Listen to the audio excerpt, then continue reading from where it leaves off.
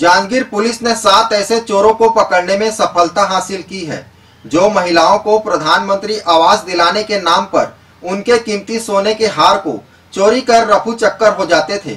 पामगढ़ थाना अंतर्गत सरबती बाई ग्राम मेऊ भाटा थाना पामगढ़ के द्वारा थाना में आकर रिपोर्ट दर्ज कराई थी कि 8 मार्च को करीबन दो मोटरसाइकिल में तीन व्यक्ति उनके निवास पर प्रधानमंत्री आवास योजना का अधिकारी बनकर घर में घुसकर पीड़िता को पीएम आवास योजना के तहत घर बनाने के लिए दो लाख रुपए दिलवाने के नाम पर पीड़िता के सोने का माला की फ़ोटो, खींचने के नाम पर सोना की माला को लेकर तीनों आरोपी चोरी करके फरार हो गए और मौके पर आरोपी का एक मोटरसाइकिल छोड़कर भाग गए, जिस पर पीड़िता की रिपोर्ट पर थाना पामगढ़ में अपराध क्रमांक 113 ऑब्लिक उन्नीस धारा चार सौ चौवन तीन सौ अस्सी चौंतीस भादवी कायम कर विवेचना में लिया गया था।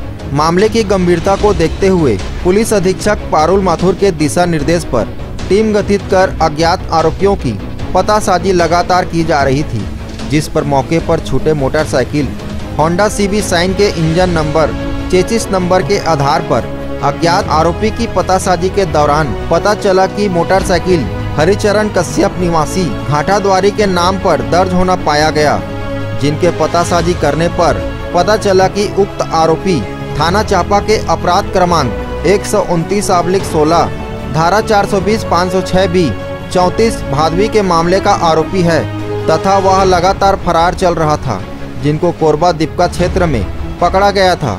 वहीं पूछताछ करने पर उनके द्वारा अपने छह सात अन्य साथियों के साथ मिलकर गिरोह बनाकर कोरबा तथा जांजगीर ज़िले के विभिन्न क्षेत्रों में पीएम आवास योजना के तहत पैसा दिलाने के नाम पर महिलाओं के पहने सोने चांदी के जेवर को फ़ोटो खींचने के नाम पर उतरवा कर झांसा देकर लगातार चोरी करना कबूल किए।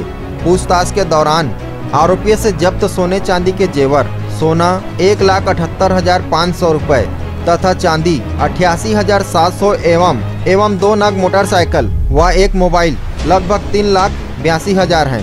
पुलिस द्वारा आरोपियों से पूछताछ जारी है। बांगड़ थाने में 8 मार्च को अपराध दर्ज हुआ था, धारा चार सौ चौवन, तीन सौ अस्सी, चौंतीस आई के अंतर्गत। इसमें प्रकरण ये था कि एक महिला को चार लोगों के द्वारा झांसा देकर चोरी का घटना को अंजाम दिया गया था।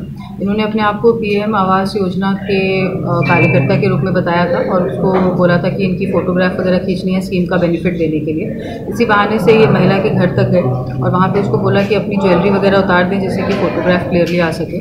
तो दो लोगों ने महिला को एंगेज किया फ़ोटोग्राफ वगैरह लेने के लिए और बाकी दो लोगों ने जो उसने ज्वेलरी उतारी थी और घर में जो ज्वेलरी थी, उसको उठाकर चोरी करी। और वहाँ से जब भागने का प्रयास करने लगे तो महिला ने इनको पकड़ने की भी कोशिश करी। तो इस वजह से उस उन लोगों की एक मोटरसाइकिल घटनास्थल पर ही छूट गई थी। उसी मोटरसाइकिल से तफ्तीश की शुरुआत हुई और इसमें रामगढ़ प्रभारी और उनकी टीम के द्वारा बेहतरीन काम करके और इस पूरे गिरोह का पर्दाफाश किया गया है। इसमें टोटल सात आरोपियों की गिरफ़्तार की गई है, गिरफ्तारी की गई है, जिसमें से चार आरोपी पामगढ़ की घटना में सम्मिलित थे। इसमें जो मेन है हरिचरण कश्यप, उसको उर्गा क्षेत्र से गिरफ़्तार किया गया है। यही मेन मास्टरमाइंड है और इसके द्वारा इस तरह की घटना, कई घटनाओं को अंजाम दिया जा चुका है, जिसमें करतला, उर्गा पामगढ़ और जयजयपुर थानों में छः से अधिक प्रकरण इनके खिलाफ इसी सेम मोडस ऑपरेंडी के दर्ज हैं।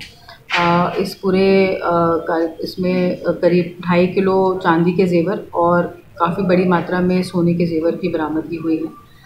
ये जो मेन आरोपी है, ये यहाँ का पुराना 420 का आरोपी भी है। यहाँ चांपा का स्थायी वारंटी है।